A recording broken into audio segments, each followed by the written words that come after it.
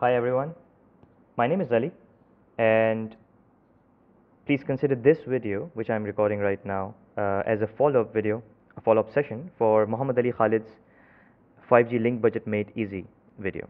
So if you don't know the video I'm referring to, I have it on my screen here and we will also post a link. So this is the video I'm talking about, the 5G link budget made easy by Muhammad Ali Khalid where uh, he tried to simplify some of the 3GPP equations for the link budget and to estimate what is your cell radius and based on the cell radius of course you can calculate how many sites do you need in a certain specific area. So my objective in this video is not to go over each equation and uh, implement it ourselves. My objective is we first try to review the link budget parameters and after this review what we will try to do is we will try to understand what each parameter means and how important it is in our calculations and then I will try to show you uh, how you can use an online tool to calculate the cell range using the understanding from these parameters. So let's get started. Let's get started on the first part which is what is link budget. So I'll try to simplify the definition and once again my recommendation if you haven't seen the video from Ali Khalid uh, do do check this video out because this is the base of what I'm going to explain right now. So the task when we are doing the link budget analysis, it's, it's, it's simple. What we do is we try to find out all the gains, gains here mean the transmit power which I have, then of course anything which improves on this transmit power which can be the antenna gains of the transmitter, the antenna gains of the receiver. Then I need to find out all the losses and the losses of course the transmitter itself may have some cable losses, the feeder losses, then the receiver may have certain inbuilt losses the transmission path itself will have a lot of loss for example rain, uh, snow, penetration loss uh, and so on and then there will be the channel characteristics for example higher frequencies will have different kind of losses and with the distance of course uh, your path loss will increase. So all these losses and all these gains we combine all of them. So in the end what we what we get is that from the transmitter assume that my G node B here is my transmitter my e, UE which is here is my receiver so, if I started from this place which was all my gains and then I came here after subtracting all my losses, I will end up with the received signal strength. So, till now we did two things we identified the transmitter, we identified the receiver and then we identified all the gains and losses. And after this stage we finally reach a mathematical uh, equation for the received signal strength which will be at the receiver point of view. The last step is we have to determine is this received signal strength enough for the receiver. So, from uh, from a mathematical no from from a more exact or technical term this is dependent on the receiver sensitivity. So, what happens is uh, of course the receiver is electronics in the end. So, if you increase the temperature if you increase the thermal noise the performance of the electronics will be affected. So, every design equipment has certain limitations on the bandwidth received. So, it is dependent on the bandwidth, it is dependent on the temperature, it is dependent on your design parameters which is the noise figure and it is dependent on the CORI or the SINR of the received channel. So, combine everything together the, the device will have a specific performance threshold. For example, if at a given SINR, the device can decode the transmission with say a bit error rate of 10 percent or less, then this transmission is acceptable or this SINR is acceptable. But there will come a time when the when after a specific SINR threshold, you cannot decode the transmission at the same error rate, let's say 10 percent.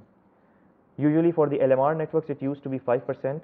Uh, my expectation for LTE and 5G, it can be as as high as 10 percent because in general we see 10 percent uh, used for the CQI definitions as well. So, starting again from the transmitter all the gains subtracting all the losses we get the received signal strength and the last step is we compare this received signal strength to what is my actual receiver sensitivity. So, if my receiver sensitivity is better than the received signal strength then definitely link budget is viable there is no problem you can use these power parameters at this distance and you will still make the transmission. However, if my UE receiver sensitivity is lower than this threshold, then it is a problem which means your cell range is less than where uh, than the distance between you and the UE. So this is what we are trying to, to find out. Now, for all this journey, uh, you, you see that I have marked this path loss in blue and there is a reason for it. So there are some parameters which are design parameters. For example, the power transmitted by the G node B, it's a design parameter, you should know this. The losses within the G node B, if it is not an AAU system, maybe it's an RRU based system, of course cable losses and, and so on, you should know this. Same goes for the UE. So the height of the UE, of course, you will know this. Uh, the distance between the UE and the base station, you should know this before the calculations. Then comes some, some of the other things which are more of experience based. So the rain loss, snow loss, penetration loss, foliage loss, which is the vegeta vegetation loss and so on. Usually we assume specific values based on our experiences or sometimes uh, which is the right method we should actually try to use uh, the distributions, the probability distribution functions for these specific things. Uh, some of these uh, some of these might be just uh, centered around uh, similar to a normal distribution with a given standard deviation and you can find some of these things in 3GPP channel modeling document as well. This blue part the path loss as per UMA slash RMA this is the part where 3GPP has helped us. So, what they did was they tried to model the frequency characteristics from 0.5 gigahertz to 100 gigahertz okay and then they mapped it into certain scenarios they, they name the scenarios as UMA, RMA and the indoor office. So, in 3GPP document how it looks like this is in front of the screen right now. So, the scenarios RMA is for rural settings assume that it is a rural base station. So, there are less losses compared to urban. UMA is the urban model. So, assume that it is probably the most restrictive model which has the highest amount of losses and then there is another discrimination which is the LOS or NLOS which is line of sight or non line of sight. So, for us of course in most of the cases we assume uh, I assume that my base station would be in urban settings and probably I, I, I, want to see the cell range when there is no LOS which is no line of sight. So, the equations valid to me would be in this quadrant. Uh, if you go, if you go into deeper into the equations you will notice that the equations are not simple. I mean the equations are not single equations, they are PL1 and PL2. So, the difference is when, when modeling the channel what happens is the distance between the transmitter and the receiver until a certain limit this limit is called the breakpoint distance the channel characteristics are different. So, we follow equation number 1 and when your distance is greater than this breakpoint distance the channel equation becomes different and usually what happens is you add the previous loss and then you add more to it. So, so the loss characteristic after the breakpoint distance is different and the breakpoint distance itself for each kind of model is also defined in the 3GPP uh, document. I think it is 38.190 uh, but I will, I will post a reference in the, uh, in the video as well. So, what are the parameters 3GPP takes into account? So, of course, the frequency is very important the distance and when I say distance please remember that I will be talking about the distance 2D which is this distance the horizontal distance. Distance 3D can be uh, can be calculated using Pythagoras theorem based on this information and the height of UE and base stations. Then 3GPP also takes into account the street width, the height of average buildings in the area and of course urban setting heights are different than the rural settings height and so on. So, if you do not know something settle for a default case which, which works out for you uh, best. So, breakpoint distance as we discussed and the NLOS versus LOS. So, if you want to go into more details, if you do not want to take just NLOS uh, calculations, the non line of sight calculations, please take, in, take this into account that there is a probability for LOS as well. You can apply this to see how many, how many percentage of times for example, uh, the transmission will use LOS characteristics versus NLOS characteristics if you want to be accurate with your own modeling.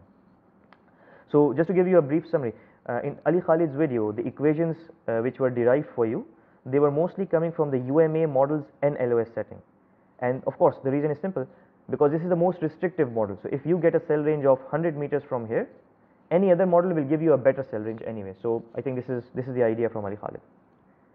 So, part 1 is done for me.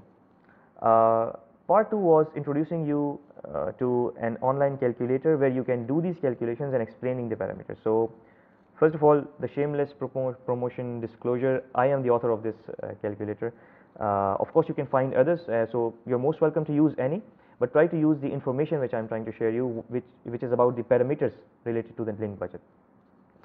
So if you use this nrcalculator.web.app, you can go to link budget calculations. Uh, the reading guide, I, I, never read it myself, so you're most welcome to read it. There is a chart which I will explain to you. Uh, but I will first start from the parameters which are there. So if you see there are system parameters and this calculator assumes that it is a symmetric system. Symmetric means the bandwidth in the downlink is 100 megahertz and uplink is also the 100 megahertz bandwidth. Two points here. Uh, the bandwidth affects the receiver sensitivity. So the higher the bandwidth, uh, the different the receiver characteristics would be because uh, the receiver sensitivity depends on the KTB, the Boltzmann constant, the temperature and the bandwidth. Uh, the other point was as I mentioned this system assumes that it is symmetric however in 5G we know it is not always the case there will be 5G devices which can only use which may only use a small bandwidth uh, uh, of the whole system. So if this is the case you can change this parameter to the smaller value because this calculator tries to calculate both uplink and downlink at the same time. So you will have to adjust yourself based on your own scenarios. Then of course we are assuming a typical 3.5 or 3.6 gigahertz of 5G deployment we are assuming a 400 meter distance between the UE and the G node B and again this distance is the 2D distance over this line.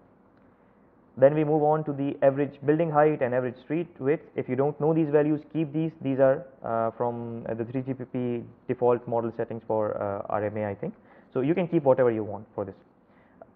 Then comes the design parameters. You should know these values probably from your dumps and from your network settings. So what is your TX power? What is your TX and RX gain. So, I am assuming a very high gain antenna and a very high power antenna as well. Uh, consider this is an AU deployment. My height, uh, not my height, uh, I wish, no, no, I do not wish. Uh, the transmission height for the G node B and then the cable losses, RX losses, uh, of course, I am assuming them 0 because of the AU setting which I have. Noise figure and the SINR target. So, these are from the equation of the receiver sensitivity. If you do not know about the noise figure keep it as 4 because in most design documents you will, you will see that 4 is uh, the value uh, used most often. The SINR for the sensitivity target. Now for a G node B and especially a G node B with 64T 64R this is uh, the value minus 3 is, is not not very low. So as a, as a rule of thumb you can easily go to minus 6 for any setting and if you are using a really good E node B good here means a higher order MIMO which uses all the antennas to decode and extract system information you can even go to minus 16 uh, safely for the G node B side and of course if you, if you make it lower your link budget will improve. Then comes the UE parameters link budget and the uplink will improve sorry. UE parameters of course I am assuming a normal UE so I my power is limited to 23 if you use LTE plus 5G reduce this power because half power will go to LTE, half will go to the 5G. So uh, it will be 20. Uh, then the I'm assuming no antenna gains for the UE. I'm assuming 1.5 meter height for the UE and the TX cable losses are 0 0. The noise figure again, you don't know it, keep it 4 and don't try to change this value. However, this minus 2 is again, it's it's it's not a practical value. I mean, usually we see that minus 4 to minus 6 is a more suitable value when we are trying to compare for a UE performance and it is up to you to change it or keep it if you want a more restrictive cell radius for your calculations. Then comes the loss parameters these are similar to what I said which was the experience based parameters like what is the rain loss, the penetration loss and so on.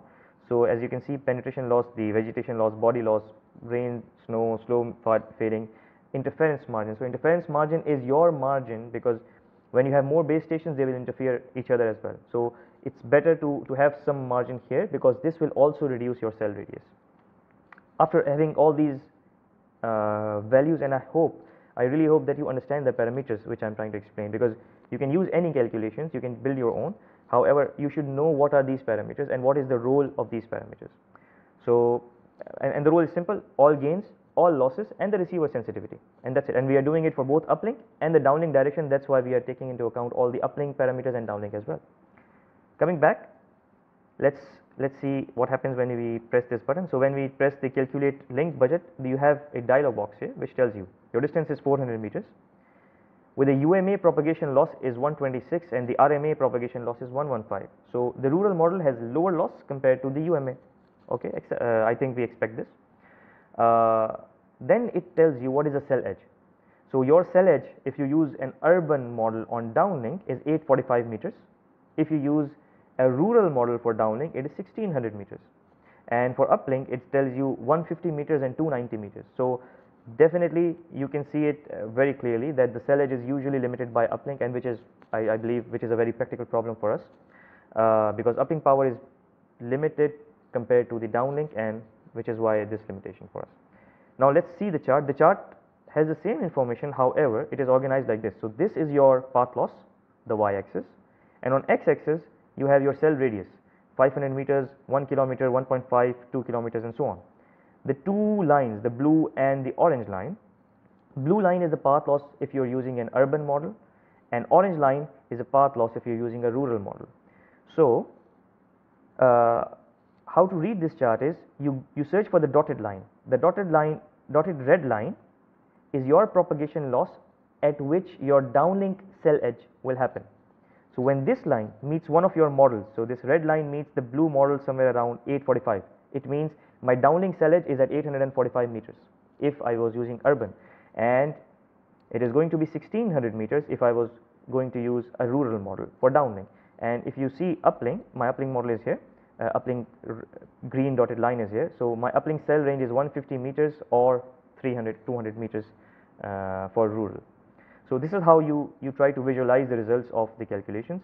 Try to read through it. Uh, my request if you find any errors, any problems, please report it. You can connect to me uh, by connecting the uh, by clicking the about box here or uh, I will try to post uh, a link as well. And uh, thanks for watching. I hope that it was useful for you and I hope that you learned something new. Thank you very much.